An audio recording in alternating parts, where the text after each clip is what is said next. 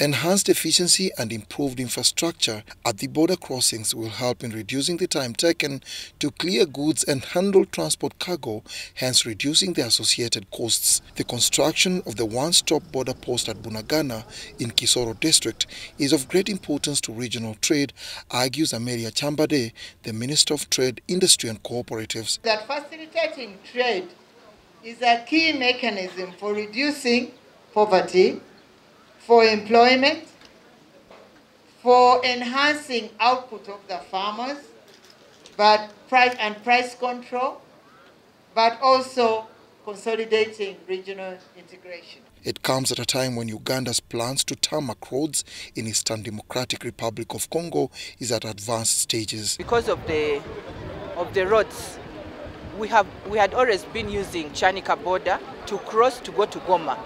And in fact, even the buses, they would come from Kampala, pass through uh, through Cyanika, go to, to DRC. I believe that uh, if, uh, if this project starts and our project of the roads, I think it is going to testify, intensify the what?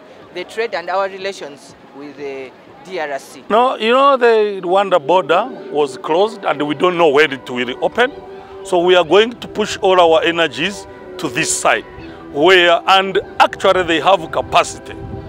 DRC has capacity to do business because they have a lot of raw materials and they, they have a lot of liquid cash. The 5 billion shillings state-of-the-art border facility will improve efficiency in customs administration through adoption of electronic services. In the recent years, Uganda and the Democratic Republic of Congo have significantly increased their inter-regional trade. The commodities that you normally take are beans, maize, millet, sugar, fish, and sorghum. These products are exported in their raw form.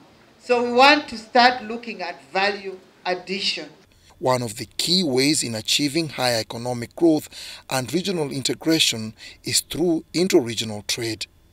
Dennis Sigoa for UBC News at Bunagana.